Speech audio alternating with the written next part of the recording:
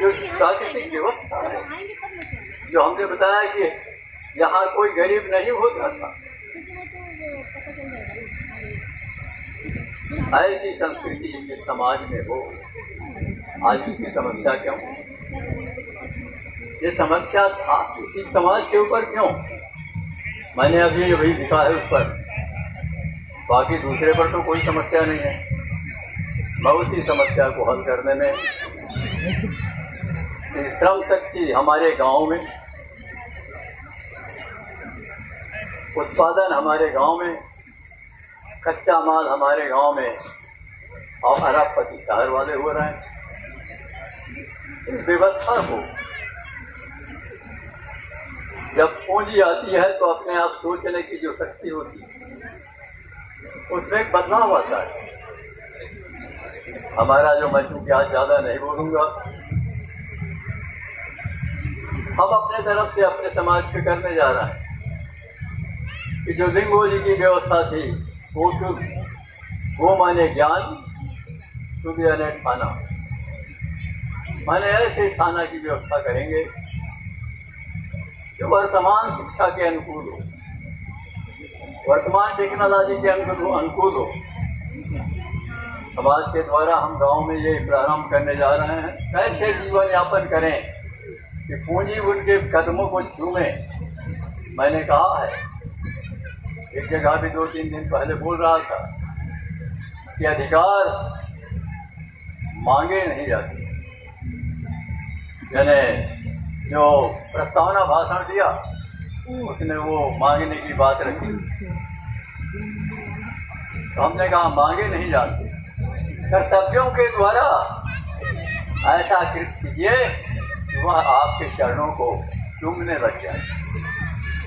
जैसे कि मुझे, क्योंकि शिक्षित समाज, का समाज में अपने गाँव में जहाँ वो जन्म दिया, कि वो बनवाना वाले कहो बनवाना जाति का नाम है, इस जाति का नाम है इसके पूरी सबको पढ़े लिखे लोगों को मुझे दोबारा बताने की ज़रूरत नहीं। आपके हिमालय की उत्पत्ति सात करोड़ साल पर अमरकंटक नर्मदा की उम्र पैंतीस करोड़ साल। अभी अभी अमेरिका का रिसर्च आया है कि वहाँ जो खोपड़ी मिली है, माना खोपड़ी साढ़े सात लाख वर्ष। पहले तो ये समाज जो संपन्न रहा है, आज वो इस स्तर पर पहुँचा है, उसे आप पुनः उसी स्तर पर यहाँ संपन्नता आए। सब रोजगारवान हो। मैंने अपने किताबों में लिखा है कि शोषण विहीन।